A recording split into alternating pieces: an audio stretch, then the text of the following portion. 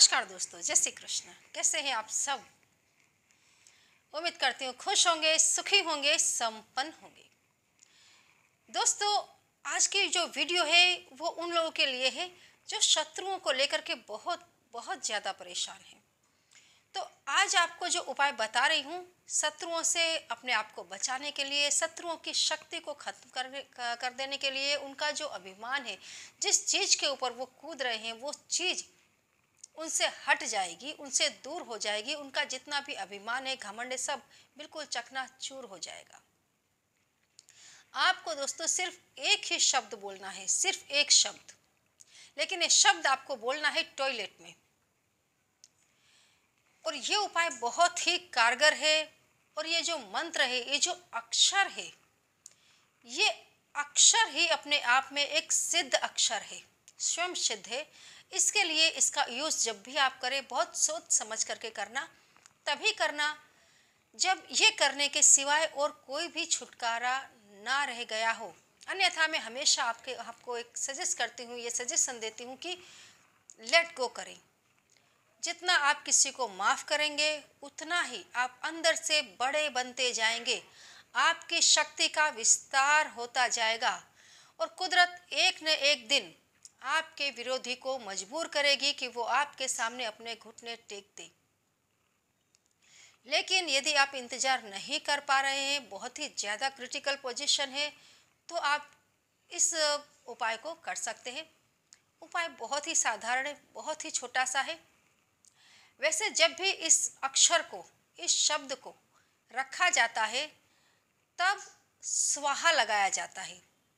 लेकिन क्योंकि ये जो आपको मैं बता रही हूँ करने के लिए, ये क्रिया आपको टॉयलेट में बैठ करके करनी है। आप लेटरिन जाएँ या बाथरूम जाएँ। जब भी आप टॉयलेट में जाते हैं, जब भी आप कमोड पर या लेटरिन में बैठे हुए हैं, उस समय आपको इस शब्द को कंटिन्यू बोलते रहना है। मन ही मन आपको इस शब्द को बोलते रहना है। इस शब्द की दोस्तों, ऐसी असर होती है कि आपका शत्रु अंदर से टूटने लग जाता है। जिन चीज़ों के ऊपर वो कूद रहा होता है, वो तमाम चीज़ें उसका साथ छोड़ करके जाने लग जाती हैं। तो दोस्तों, वो शब्द है हन। क्या है? हन।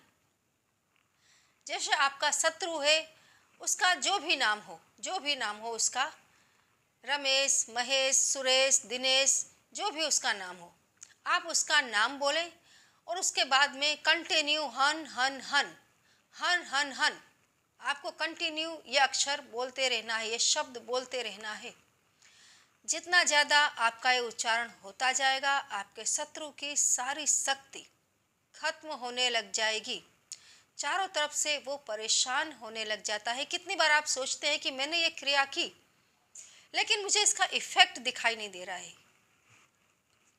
दोस्तों, एक तो सामने वाला आपका शत्रु है।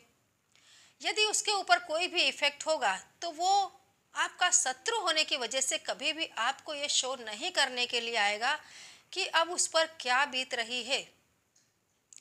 यदि आप अपने कार्य में कंटिन्यू लगे रहे तो आप वो दिन भी देख लेंगे जो आप देखना चाहते हैं। और दोस्तों, यदि आपकी लाइफ में दरिद्रता है, किसी तरह का कोई कले है जिससे आप छूटना चाहते हैं तो आप उस चीज़ को बोल करके भी, जैसे कि आप बोल सकते हैं गरीबी, और आप अंदर ही अंदर, मन ही मन, हन हन हन, सिर्फ़ आप इस शब्द को बोलते रहे। आपके घर से गरीबी और कले भी आपकी लाइफ से बहुत दूर भागता हुआ दिखाई देगा। इस अक्षर में इतनी शक्ति है दोस्तों कि जब भी आप जिस चीज़ को टारगेट करके मतलब जो भी चीज़ को आप अपनी लाइफ से हटाना चाहते हैं उस चीज़ को टारगेट करें। पहला शब्द आप उस चीज़ का बोले और उसके बाद आप इस अक्षर को बोलते रहें। आपके अंदर भी यदि कोई विकार है, शत्रु सिर्फ़ बाहर ही नहीं होते दोस्तों, शत्रु आपके अंदर भी होते हैं। कभी आपको खुद को भी पता होता है कि ये जो आप कर रहे हैं वो गलत है, उसके बावजूद भी आप बाद में सोचते हैं कि ये ये गलत था लेकिन मेरे से हो गया।